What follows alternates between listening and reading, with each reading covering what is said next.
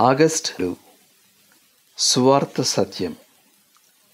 కొలసీలకు రాసిన పత్రిక మొదటి అధ్యాయము ఐదు ఆరు వచనాలు.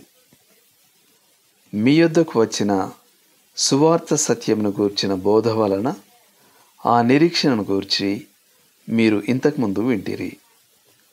ఈ సువార్త సర్వలోకంలో ఫలించుచు వ్యాపించుచున్నట్టుగా మీరు దేవుని కృపను గూర్చి విని సత్యముగా గ్రహించిన నాట నుండి మీలో సైతము ఫలించుచు వ్యాపించుచున్నది.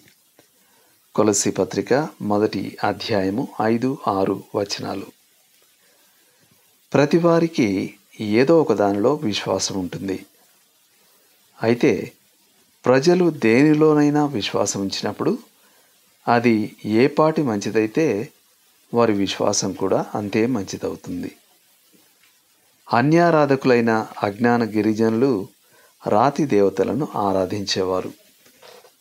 అన్యారాధకులైన ఆధునిక నగరవాసులు డబ్బును లేక వస్తు సంపదను లేక హోదాను ఆరాధిస్తారు. ఈ రెండు సందర్భాల్లోనూ వారి విశ్వాసం శూన్యమైందే. నిజ క్రైస్తవ విశ్వాసులు యేసుక్రీస్తులో విశ్వాసం ఉంచుతారు ఆ విశ్వాసం దేవుని వాక్యంపై ఆధారపడి ఉంటుంది.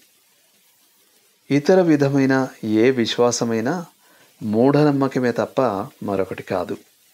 అది ఎవరిని రక్షించలేదు. జాన్ సెల్డన్ లండన్లో ఉండిన ఓ ప్రముఖ చరిత్రకారుడు న్యాయశాస్త్ర కోవిదుడు.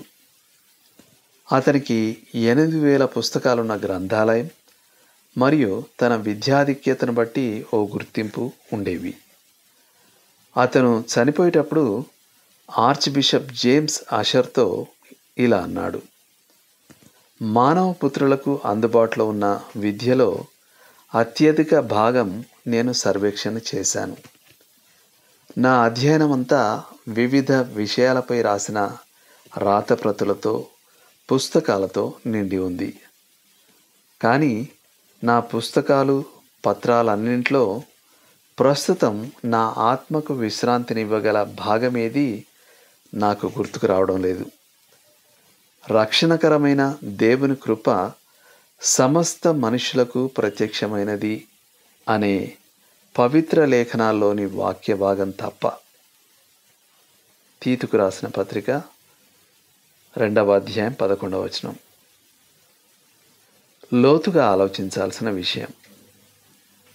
ఏ ఏ విషయాల్లో మీరు సాధారణంగా విశ్వాసం ఉంచుతుంటారు?